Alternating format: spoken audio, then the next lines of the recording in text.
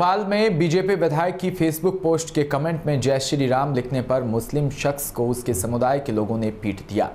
पत्नी को भी पीटा और चार साल की बेटी को उठाकर पटक दिया। उसे कौम का गद्दार भी कहा। उसके घर में तोड़फोड़ कर दी घटना कोकता में रहने वाले मुनवर अंसारी के साथ हुई। मुनवर पेशे से कारपेंटर है। उसका कहना है कि वो भाजपा विधायक रामेश्वर शर्मा का समर्थक है। विधायक की पोस्ट पर जय श्री राम के कमेंट और लाइक करने पर उसके साथ मारपीट की। अपने समर्थक के साथ हुई इस घटना के बाद विधायक ने बिलखिलिया थाना प्रभारी को कार्रवाई के लिए कहा। इसके बाद पुलिस ने जाँच शुरू कर दी, लेकिन किसी आरोपी को गिरफ़्तार नहीं कर सकी। वहीं टीआई ने बताया कि मुनवर भी थाने में गया था, लेकिन उसने शिकायत आवेदन नहीं दिया।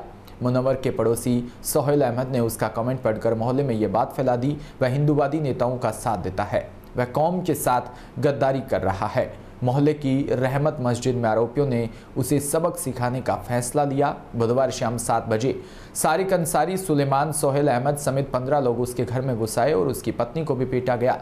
वह घर के बर्तन फेंक दिए। बोले, अब बुला लो बजरंग दल वालों को।